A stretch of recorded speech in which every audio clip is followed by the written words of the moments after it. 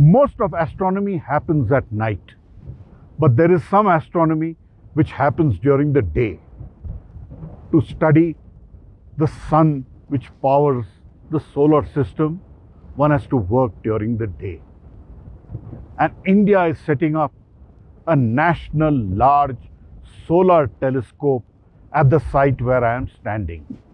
I am standing on the banks of the famous Pangong Tso Lake, a lake which is shared between India and China, and the both countries had a skirmish on it.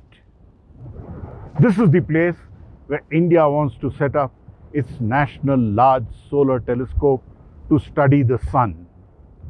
And I have with me Dr. Annapurni Subramaniam. She is the director of the Indian Institute of Astrophysics, and they are characterizing the site. Some instrumentation is behind us.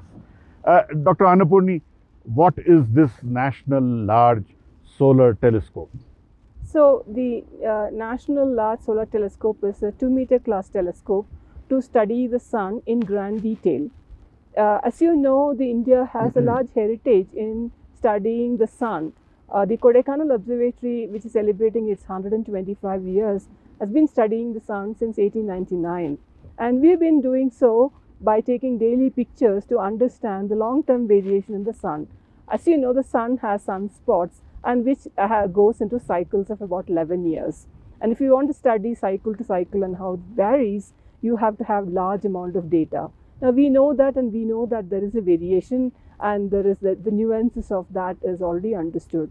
Now what we don't understand is how these sunspots come together and group for, forms groups and then some of them gets into making these flares. And this is called solar storm. solar storms and the coronal mass ejections. So in order to, the magnetic field in the sun plays a major role. And in order to understand that, we need to have a large collecting area and that helps in creating high resolution as well. So you can actually see the dynamics within a, a uh, sunspot system to actually understand the magnetic field and the dynamics over there. Why And- are we why are we setting it up on the banks of the Pangong Tso and we are standing on a finger? There is salt water all around us. Yeah, so as like Hanle, this is a similar height. So the height gives you very clear sky, very uh, transparent sky. Number one, it is also a very dry place, so you have uh, advantage of the near infrared, and uh, the the what the problem with the sunlight is that once you collect it and try to focus to a point, it heats up everything. So you need to take away the heat. So in some telescopes in Europe, etc., you actually do an active cooling. Here, the natural wind you can see this is very windy here. It is in a constant direction. This wind actually takes away the heat. And we have been characterizing this site for the last 18 years, and we have traced the direction of the wind, wind pattern, and the amount of the clear uh, sky available during the daytime. It has been phenomenal. So that is the one of the reasons. And I should also tell you that in the Asia Pacific region, there is no major uh, facility of the sun which can actually give you a, a a priori warning of something coming up because sun rises in the east. So eastern countries should will be able to capture the sun first, and then will be able to say the uh, occurrence or emergence of any large sunspots. Now, this National Large Solar Telescope, when is it likely to come up? So we have uh, put in the proposal almost about 10 years ago to the government and it has gone through several processes and it was supposed to be going to the financial committee for approval just before the COVID time. And since the COVID struck, it got delayed. And now we have, uh, then we have acquired the land and we also have extra land for our office space. So pre-project activities are going on as of now. And as part of the 100-day uh, uh, uh, Uh, uh, uh, agenda of the activities, agenda of the government, this project is also part of it. And uh, the Expenditure Finance Committee approval is moving. So we look forward to the approval from the Finance Committee for the project so that we can take it up in the second half of this year. See, India recently launched the space-based solar observatory Aditya.